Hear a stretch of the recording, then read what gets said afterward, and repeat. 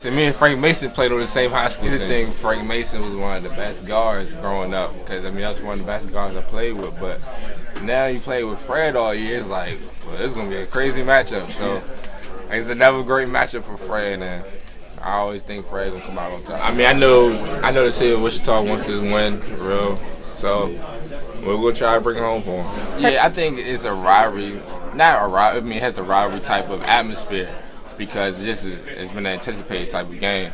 So now that it's finally happening, I mean, we go. Hopefully, we can schedule more games in the future.